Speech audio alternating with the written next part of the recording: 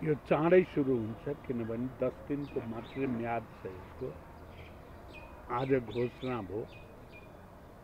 अब हामी बस्छौँ र यो समितिले संयोजक आफ्नो तोक्छ कार्यविधि बनाउँछ र काम गर्छ। भनेको त्यो दस दिनको समय काम सुरु भएको दस दिन भनेको छ। अब तपाईँहरूले काम चाहिँ कहिलेबाट सुरु गर्नुहुन्छ? अब अहिले त त्यहाँबाट सिधै तपाईँ कहाँ आइराखेका छु? हामी समितिका सदस्यहरू बस्छौँ चाँडै बस्छौँ र यो विषयमा हामी प्रारम्भ गर्छौँ। विगतमा बनेका यस्ता समितिहरू कतिको प्रभावकारी बनेका थिए? छानबिन समितिको नाम समिति बनाउने त्यसको प्रतिवेदनहरू कार्यान्वयन नगर्ने प्रवृत्ति पनि छ नि। हेर्नु संसदीय पर परम्परामा सबभन्दा ठुलो समिति नै संसदीय समिति हो। योभन्दा ठुलो समिति हुनै सक्यो।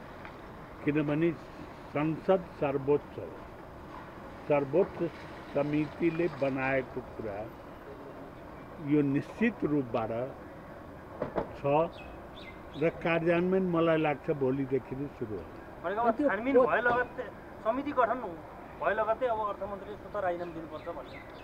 त्यो माग भइसक्यो।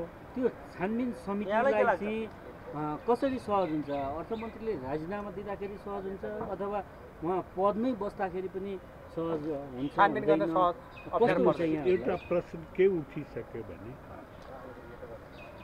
त्यहाँ अपराध भएछ भन्ने कुरा अनुमान गरेर संसदले छानबिन गठन गरे।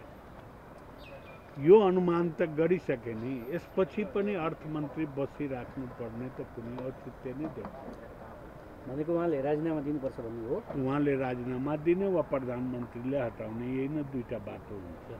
त्यो बाहेक अर्को विकल्प छैन।